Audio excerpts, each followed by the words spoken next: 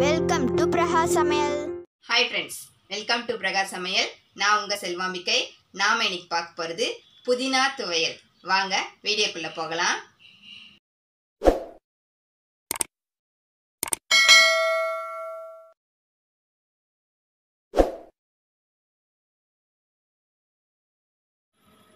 புதினா துவையல் செய்ய தேவையான பொருட்கள் ஒரு கட்டு புதினா க்ளீன் பண்ணி வச்சுருக்கேன்.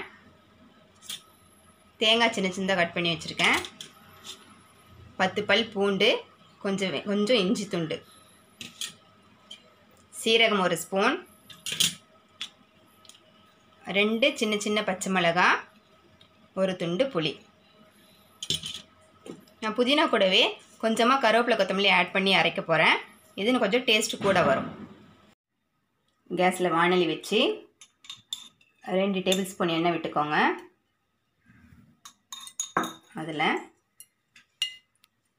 சீரகம் ஒரு ஸ்பூன்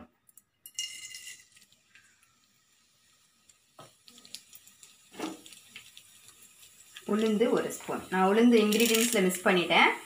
உளுந்து பருப்பு ஆட் பண்ணிக்கோங்க. ஏழு பல் பூண்டு ஒரு துண்டு இஞ்சி. இது நல்லா வதக்கி விட்டுக்கோங்க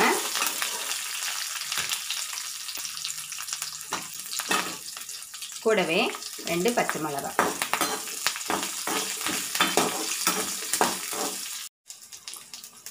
பொடியை கட் பண்ண தேங்காய். புளி ஒரு துண்டு. நல்லா வதக்கி விட்டுக்கோங்க. இது கூடவே நாம் க்ளீன் பண்ணி வச்சுருக்க புதினா இலை கொஞ்சமாக கொத்தமல்லி கருவேப்பிலை. எல்லாத்தையும் சேர்த்து வதக்கி விட்டுக்கோங்க இது பச்சை வாசனை போய் நல்லா வதங்கி வரட்டும். பாருங்கள் இந்த அளவுக்கு புதினா இலையெல்லாம் நல்லா சுருண்டு வந்துடணும். ஒரு பிளேட்டுக்கு மாற்றி ஆற வச்சுக்கலாம்.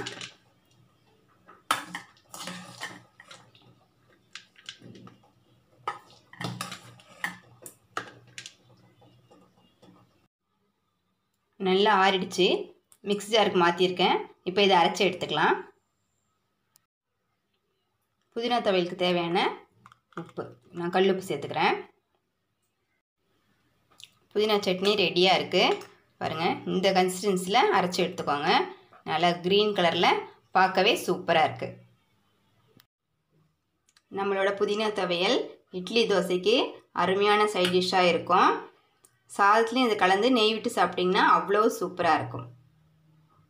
இந்த வீடியோ உங்களுக்கு பிடிச்சிருந்தா லைக் பண்ணுங்கள் ஷேர் பண்ணுங்கள் கமெண்ட் பண்ணுங்கள் மறக்காமல் சப்ஸ்கிரைப் பண்ணிவிடுங்க தேங்க்யூ